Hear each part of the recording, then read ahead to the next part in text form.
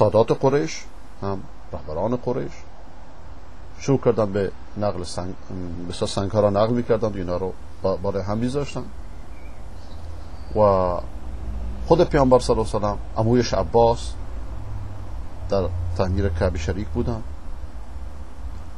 و عباس پیامبر گفت که هنوز که پیامبری نرسیده که ازارت را بالای گردنت بگیر که حد سنگ چیزی نیفته به نخوره. همین کار کرد افتاد به زمین و بعد شبه یعنی حالت اغما بهش ده سال بعد بلند شد گفت ازارم ازارم که می‌خواد خودشو بپوشونه. در همین حالت که دارند خانه کعبه رو بنا می‌کنن نوبت این رسید که حجر اسود رو بذارن جای خودش. هر قبیله ای می‌خواد این شرافت نصیب او بشه. هر که اینجا جایگاه مقدس شونه. الان صهیونیستا 2500 ساله که دارن این ورور می‌دوند که تا هزاران دروغ درست کردند که که چی؟ که اسرائیل غصب فلسطین رو غصب کردن به خاطر بیت المقدس اورشلیم. که دو چند هزار سال پیش قبلهشون اونجا بوده. و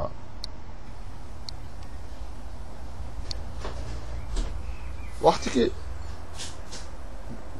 نوبت گذاشتن حجر الاسود به خانه کعبه رسید قبایل اختلاف کردن. هر کدوم می‌خواد اون بگذاردش ابو امیه بن مغیره پیشنهادی کرد. گفت ای قریش برای حل این اختلاف یه کار بکنید اولین کسی که از در مسجد میاد بزنید او بگذاره.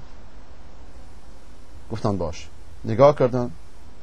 دیدن محمد وارد شد. صفا از باب صفا اومد.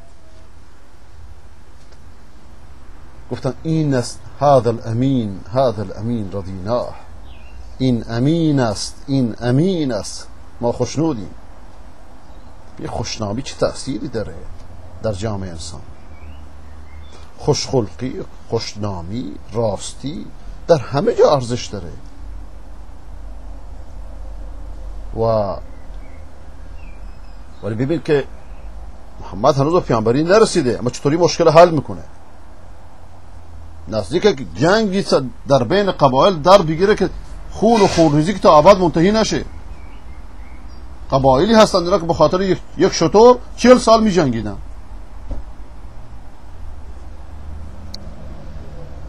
خب یه پارچه بیارید پارچه آوردن. حجر اساد گذاشتن اونجا. گفت همه قبایل این پارچه رو بلند کن. بلندش کردن بعد خودش گذاشت. همه هم راضی شدن.